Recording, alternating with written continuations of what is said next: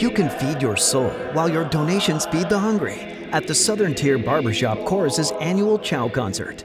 The concert will be held on Sunday, December 3rd at 2 p.m. in St. Cyril's. Come for a night filled with live music for the Christmas season, performed by the Southern Tier Barbershop Chorus, the Southern Tier Christian Community Choir, and the Endwell Community Chorus Sunday Brass. Every dollar given will go to Chow. Buy your tickets in advance or at the door.